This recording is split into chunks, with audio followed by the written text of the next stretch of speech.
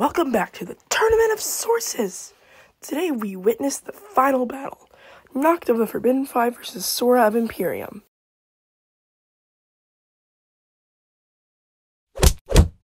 Thank you for doing that, Sora. Nokt has won this battle, making him the tournament's winner. Nokt, since you won, we could follow my master's plan now. I don't think I will, Ras. Then I'll just have to. Why isn't this working? You thought it was smart to put me in. Who are you? Hello, Lord Ras.